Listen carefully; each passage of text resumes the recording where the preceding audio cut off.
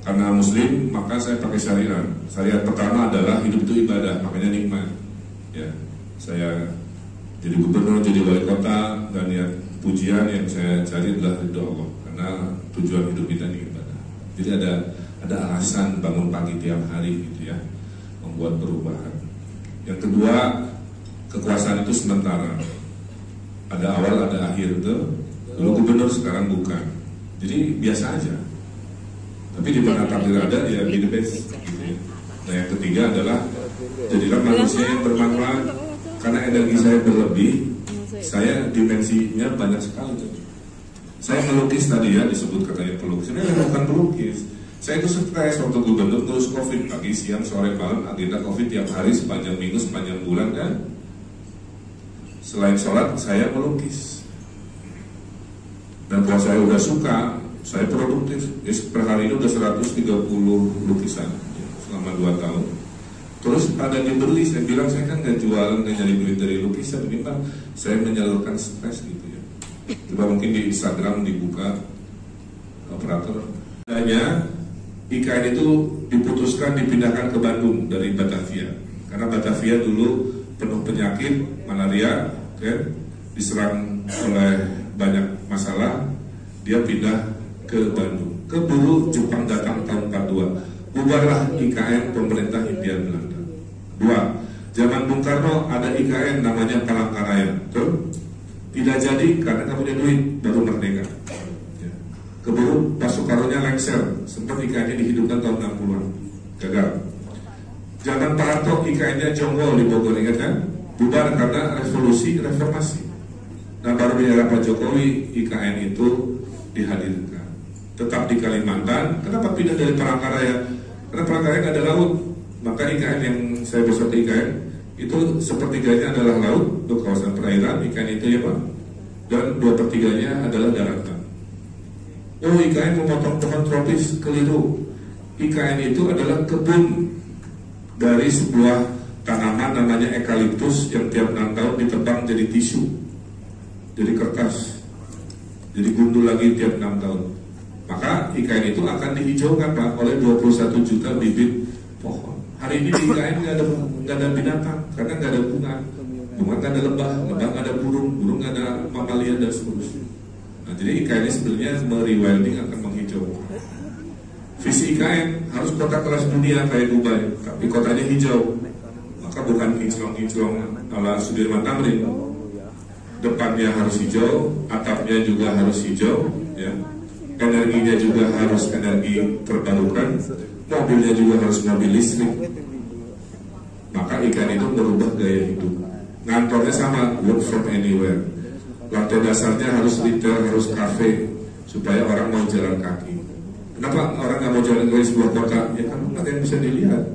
Cuma lihat lobby kantor atau apa tempo kan. Nah jadi visi IKN ini adalah dia hijau, dia intelijen, dia hemat energi, dan dia juga livable kira-kira Saya pahami hari ini semua orang minta selfie, ya sebisa mungkin saya layan. Walaupun saya senang sering kena KDRT oleh ibu-ibu ya. Ini udah luka-luka nih di, dicakar ibu-ibu yang terus.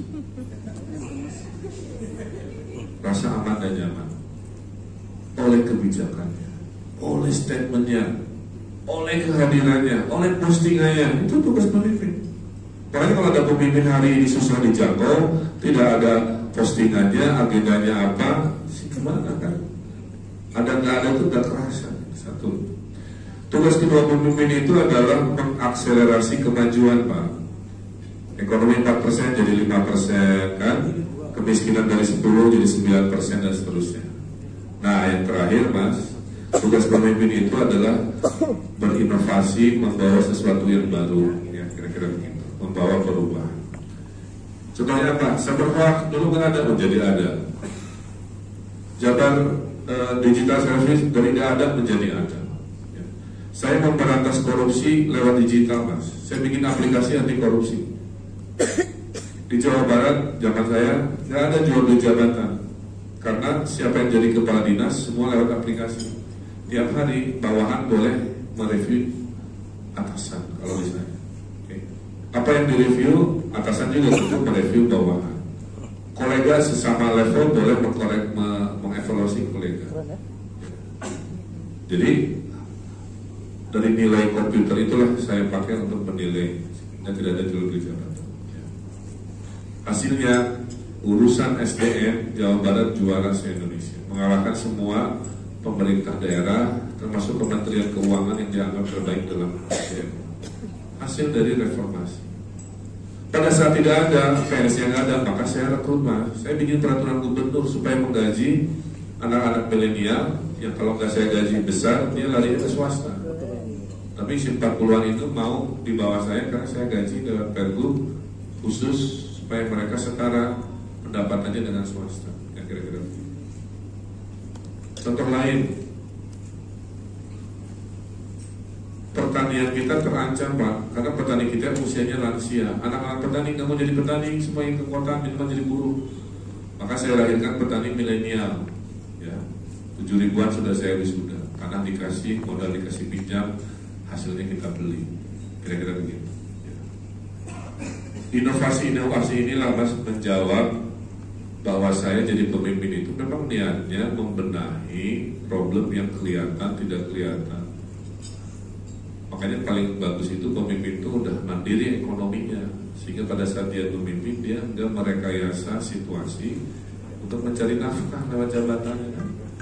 Tipe korupsi, tipe korupsi itu kan ada jual beli jabatan, menerima gratifikasi dari proyek, dengan menerima gratifikasi dari perizinan, Pak. Memakap sebuah anggaran, memotong bantuan dari pusat untuk bantuan macam-macam modusnya. Karena si pemimpinnya masih punya niat cari nafkah. Nah, jadi inilah yang saya lakukan sepanjang hidup saya berinovasi setiap ada masalah. Mohon izin saya sampaikan hasilnya ya, karena saya kalau ditanya Pak Ridwan apa sih kebahagiaan Bapak? Ya pencapaian saya lah. Ya. Jawa Barat waktu lima tahun terakhir saya menerima 555 penghargaan. Dari dalam dan luar negeri. Menandakan ada 555 perubahan mas.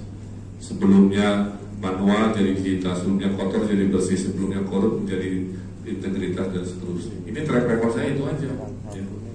gara-gara ini saya mau izin ya. Minggu depan saya terbang ke Skotlandia akan menerima gelar dokter honoris causa untuk inovasi Jadi gue suka bingung nih ngasih penghargaan itu luar negeri dulu, lokal-lokal mah. Jadi dan saya nggak minta kayak dokter Aceh di sini, ini saya cuma tiba-tiba ke surat aja, ada dinilai oleh kedubes Inggris, gini gini gini gini, segera berangkat minta trofi. Ya, Alhamdulillah. Jadi saya kira itu ya mas kuncinya kalau nanti suatu hari jadi pemimpin ber, bersemangatlah memberi rasa aman dan nyaman, mengakselerasi kemajuan yang udah ada dan menciptakan perubahan dari tidak ada menjadi ada. Itu hakikatnya. Terima kasih.